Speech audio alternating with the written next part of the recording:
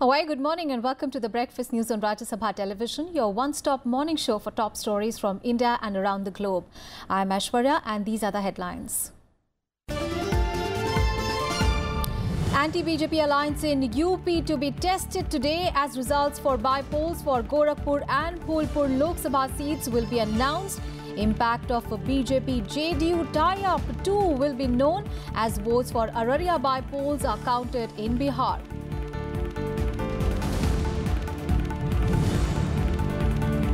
Opposition and ruling parties blame each other for stalemate in both houses of parliament.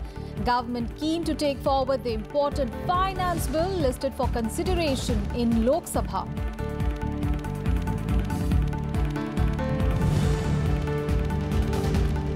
Congress says it will continue to raise issues of public importance in Parliament.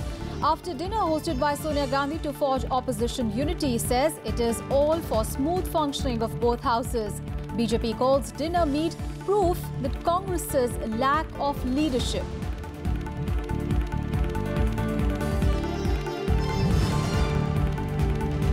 BJP and Congress approach Election Commission over each other's nominees for Rajya Sabha by-elections. BJP complains against Congress's Gujarat nominee.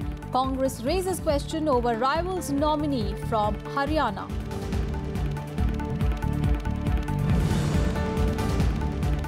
And India take on Bangladesh in their final league match in the T20 tournament in Colombo in the evening today. Rohit Sharma's team look to stretch their winning spree. Last league match of the series to be played on the 16th.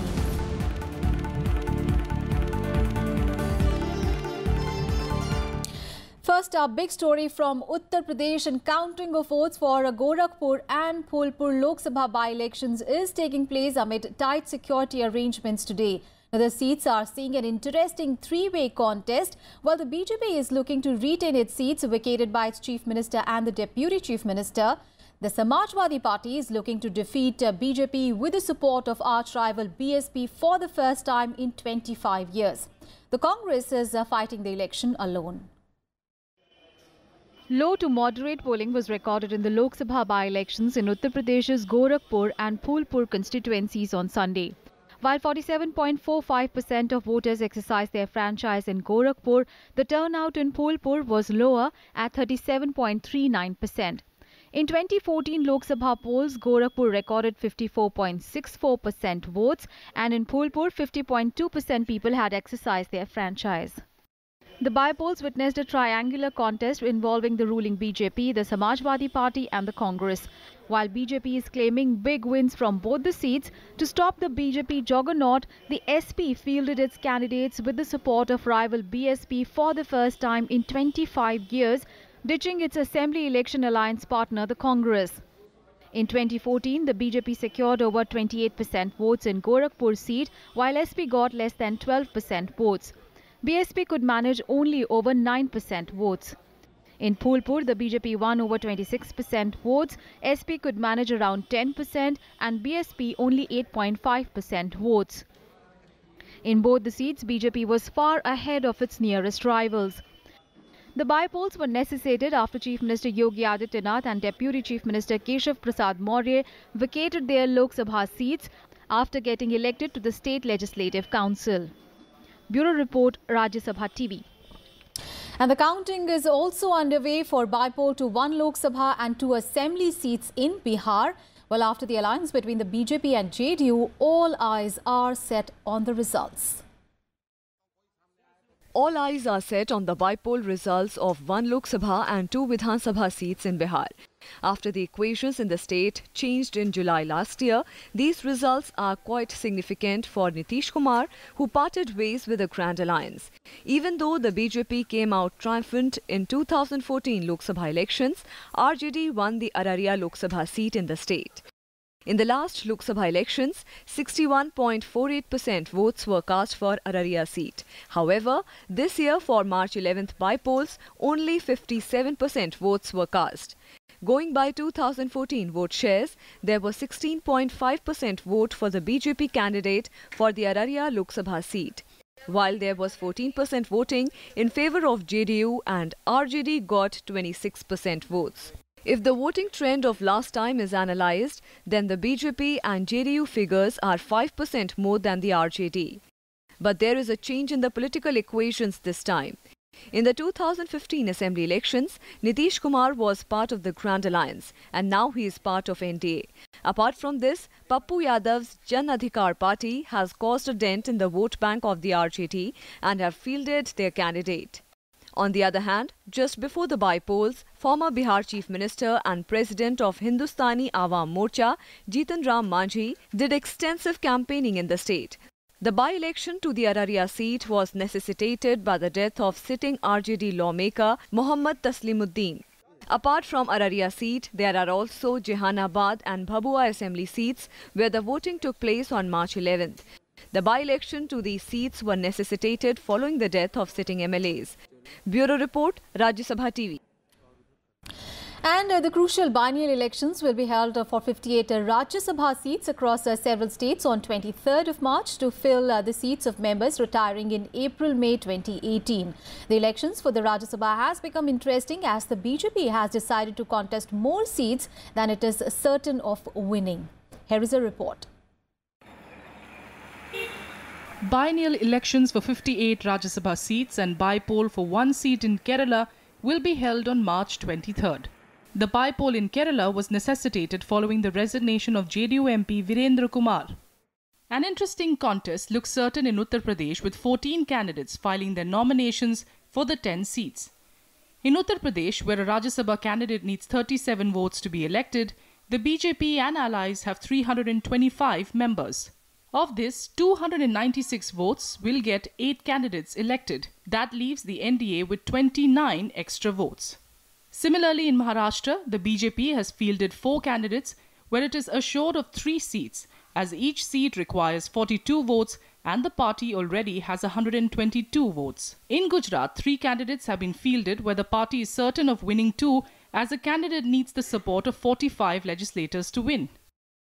The BJP alone has 58 seats in the upper house, and the party is confident of a significant leap after the biennial elections. Modi ji के प्रधानमंत्री बनने के बाद ज़ाहिर तौर पर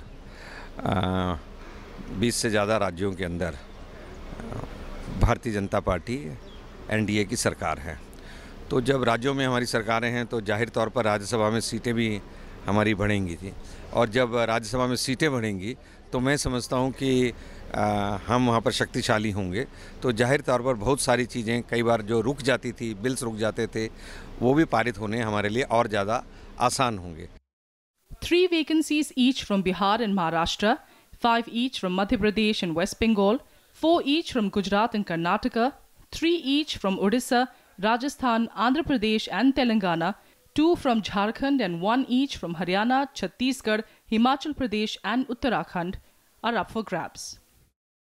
Union Ministers Arun Jaitley, Ravi Shankar Prasad, Dharmendra Pradhan and Thawarchand Gehlot are among the prominent candidates who have filed their nomination papers for the Rajya Sabha polls from various states.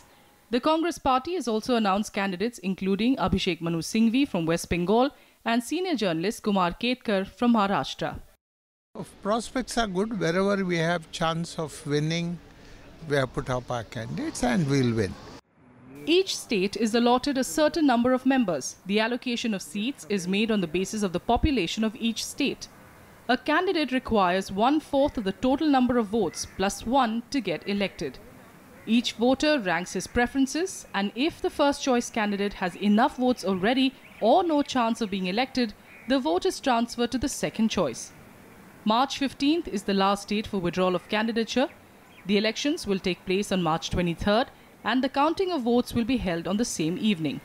Kriti Mishra's report for Rajya Sabha TV. Meanwhile, the BJP on Tuesday approached the Election Commission demanding that the nomination of a Congress leader, Naranbhai Rathwa, for the Rajya Sabha elections in Gujarat be quashed because of several irregularities in his form. A delegation of senior party leaders, including uh, Union Ministers uh, Ravi Shankar Prasad, Mukhtar Abbas Naqvi and Piyush Goyal, are seeking action against Rathwa and also PK Valera, who is a Congress-backed independent candidate. However, the Congress on uh, defensive has said that the objections uh, raised by the BJP during the scrutiny process of the Rajya Sabha candidates lacks substance. The biennial polls to the upper house are slated for 23rd of March. जो गुजरात में राज्यसभा के election का process चल रहा है उसमें जो scrutiny में खामियां पाई गई उसके बारे में हमने विस्तार से माननीय इलेक्शन कमिश्नर्स को जानकारी दी। उन सबसे, दोनों, दो कैंडिडेट्स वहाँ पे जिनके इलेक्शन के फॉर्म्स पूरी तरीके से इलीगल हैं, ठीक नहीं है, जिसमें बहुत सारी खामियाँ हैं, बहुत सारी गलतियाँ हैं, उसमें किसी प्रकार से भी एक्सेप्ट करने की कोई संभावना नहीं है। ऐसा हमने ऑब्जेक्शन दर्ज किया है। On the other hand, the Congress on Tuesday alleged that Lieutenant General retired DP Vats, uh, who's the BJP candidate for the Rohn Rajya Sabha seat in Haryana, had concealed in his nomination papers that he was holding an office of profit, a charge that Vats has denied as baseless. Vats on Monday filed his nomination papers for the seat being vacated by Congress member Shadi Lal Batra. He is the only one to file nomination for the lone seat.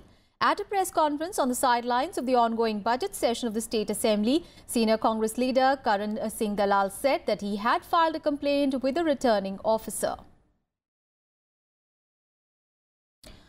On to some other news. So, well, seven days of a washout in both houses of parliament following disruptions by several members on multiple issues. Now, several key government legislations, OBC bill, the Fugitive Economic Offenders bill and the Anti-Triple Talaq bill are held up. Union Budget 2018-19 and the finance bills also have to be passed by Parliament well, the session would conclude on 6th of April. The finance bill is slated in the bill list of business for the Lok Sabha today. Also, the issue of alleged irregularities in the banking sectors is slated for discussion in both houses. In the Lok Sabha, it has been on its agenda since Tuesday last week and in the Rajya Sabha, the issue has been on the list of business from Wednesday last week.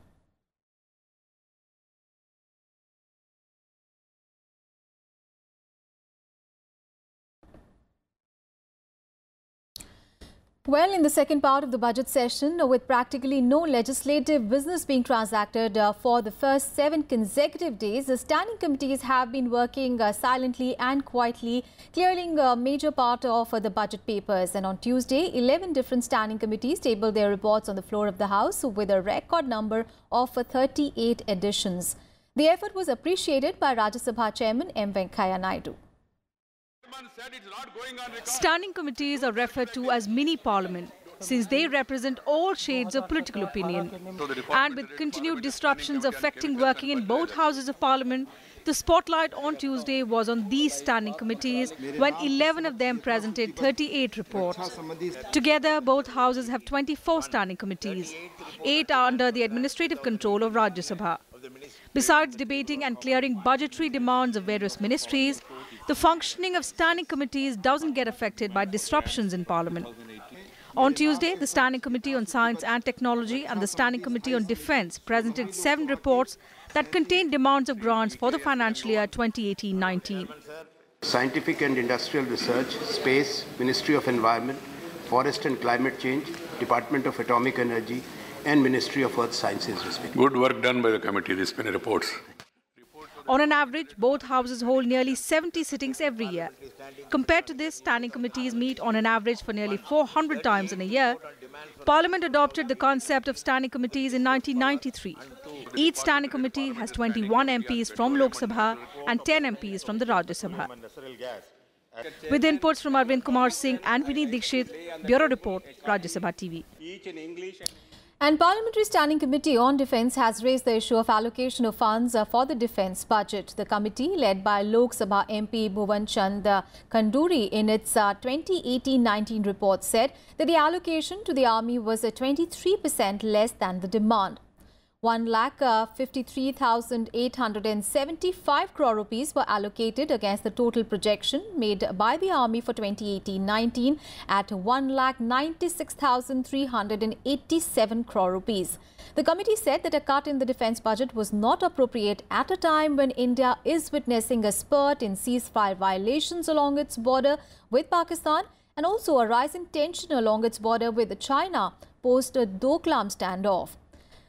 Vice Chief of Indian Army, Lieutenant General uh, Sarat Chand also called the budget uh, as a disappointing, saying that it will impact the modernization of the army. He said that the allocation of 21,338 crore rupees for the modernization is insufficient even to cater for committed payment of 29,033 crore rupees for 125 ongoing schemes. The committee said that there should be no cut in the budget for the defense forces. The committee also recommended modern weaponry and technology for the defense forces. And in Breakfast News, time for a very short break. We'll be back with more news. Stay tuned.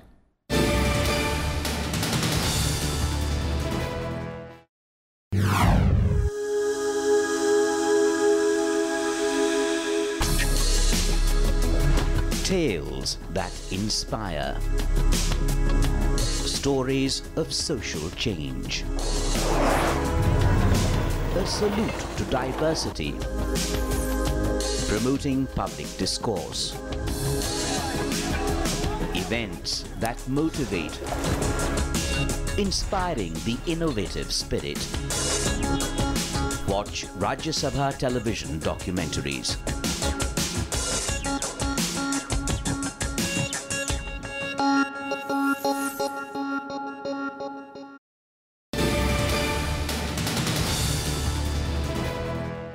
Welcome back after the break.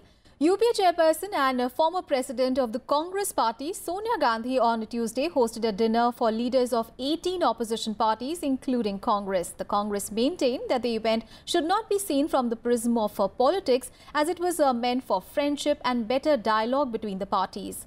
However, several political issues, including the ongoing stalemate in parliament, came up for discussion during this uh, two-hour-long dinner meeting of the opposition leaders.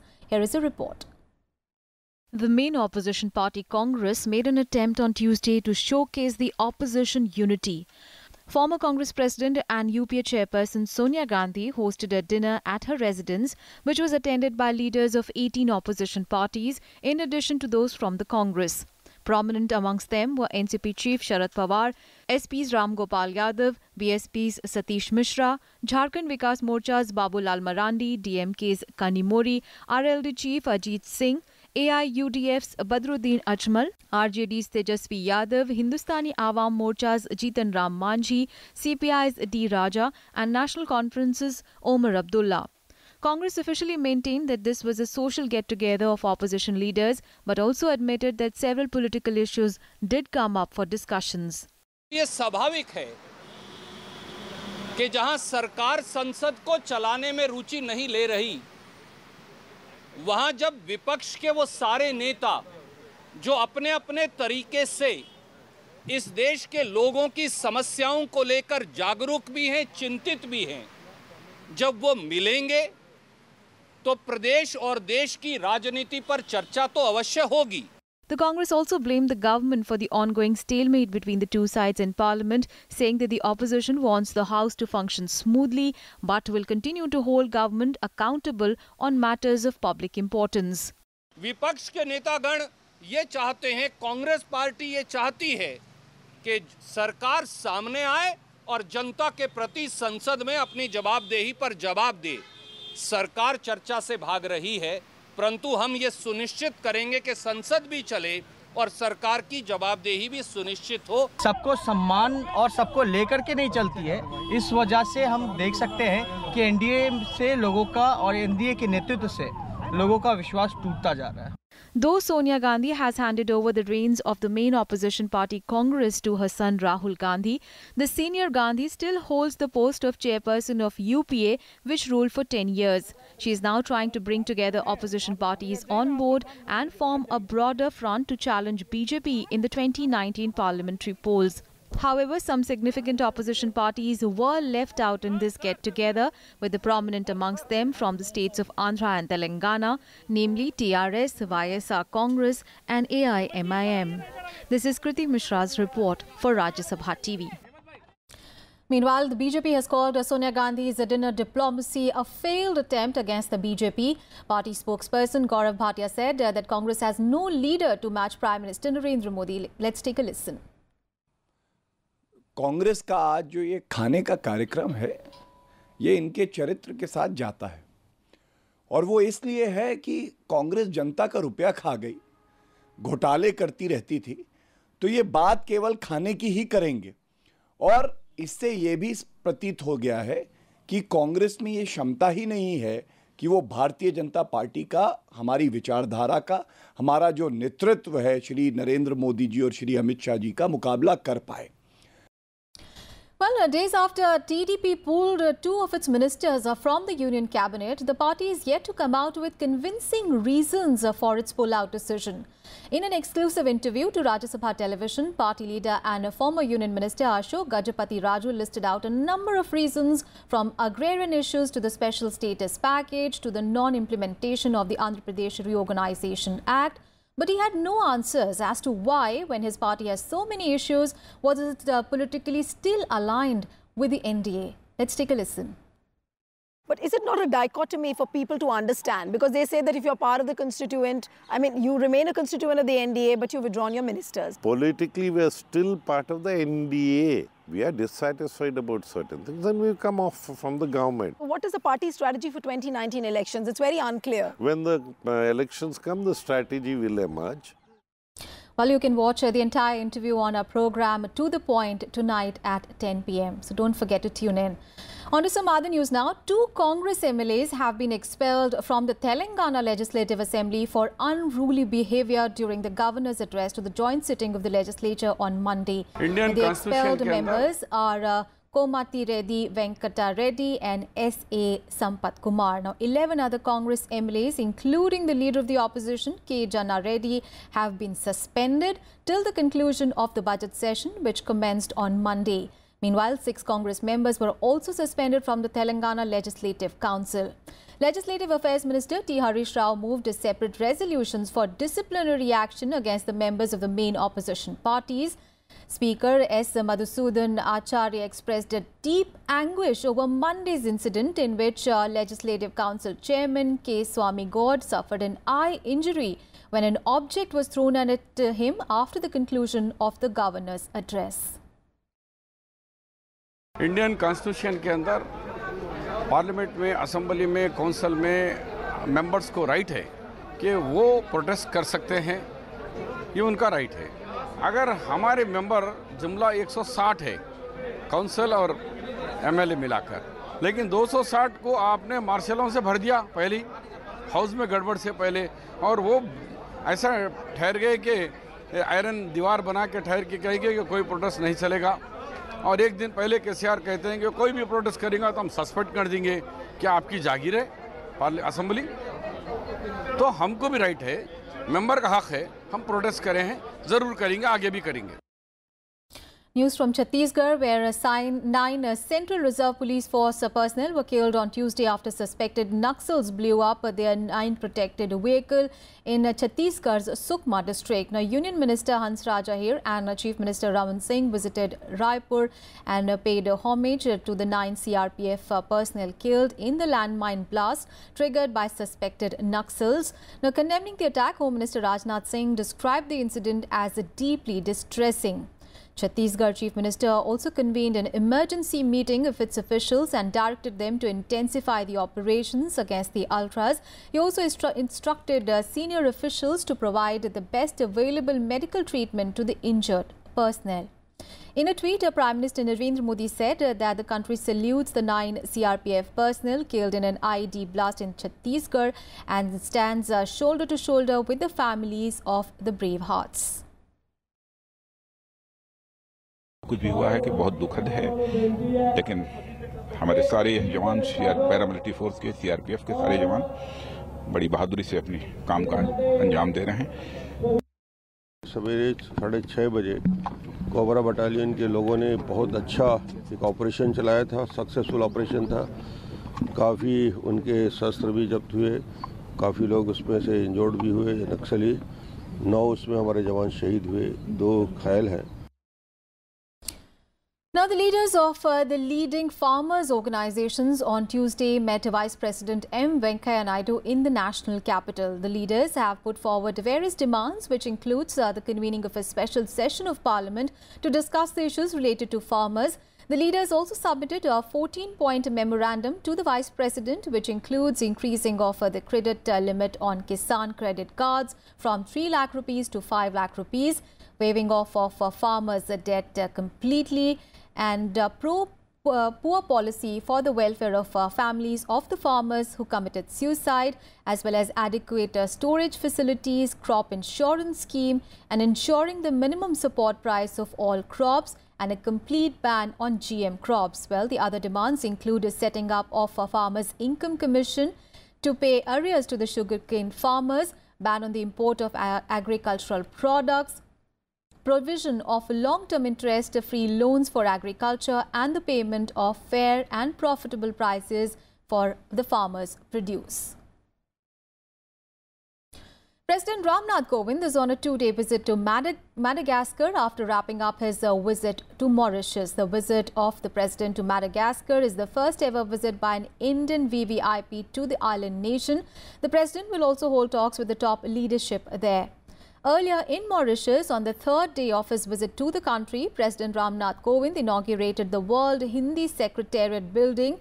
He also launched the World Hindi Secretariat's logo and early digital learning program. President Kovind also unveiled the foundation stones of a social housing project and a large ENT hospital being built with Indian assistance.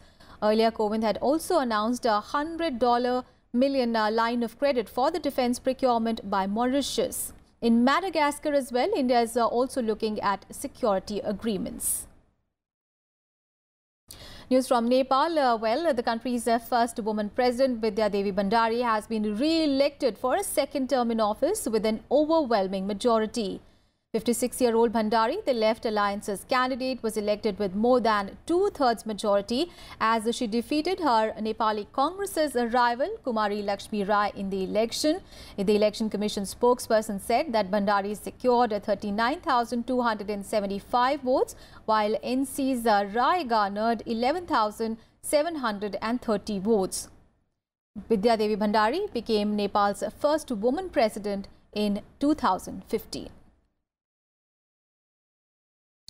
US President Donald Trump has uh, fired Secretary of State Rex Tillerson via Twitter, naming CIA Director Mike Pompeo as his replacement. This was announced uh, by the president on Twitter. The sacking comes after a series of uh, public rifts between the two of them over policy on North Korea, Russia and Iran. However, Tillerson would continue on uh, till 31st of March. Donald Trump also named uh, Gina Haspel to become the CIA's first female director. And on to sports news now. Well, India will take on Bangladesh in their final league stage match of the Nidahas T20 Tri-Series in Colombo today. With back-to-back -back victories in the first two games, India is in a healthy position and both India and Bangladesh will look to build on their recent gains in the tournament. On Monday, India defeated Sri Lanka by six wickets. The India-Bangladesh match will begin tonight at 7 p.m. The last league match of the series will be played on 16th of March. And on to Delhi, well over to 20 kilometer long South Campus section of a Delhi Metro's Pink Line is all set to be thrown open to the public from today evening. The new corridor is slated to be formally flagged off by Union Minister for Housing and Urban Affairs Hardeep Singh Puri and Delhi Chief Minister Arvind Kejriwal. Passenger services on the stretch will begin from 6 p.m. onwards uh, from both uh, Majlis Park and Durga Bai Deshmukh South Campus stations simultaneously. Well, it will connect the north and the south campuses of the Delhi University on the metro network, which can be commuted in just 40 minutes now.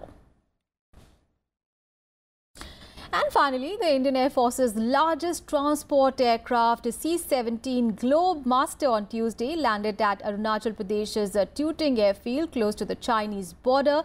And the landing of the US manufactured aircraft is seen as part of Indian Air Force's move to strengthen its overall operations in the strategically key border state. The mammoth C-17 Globemaster could execute this mission flawlessly owing to its agile maneuverability. The giant aircraft is capable of carrying a payload of uh, 40 to 70 tons up to a distance of uh, 4,200 to 9,000 kilometers and that too in a single hoop. And that's it from me and my team in this edition of news. Thanks for watching.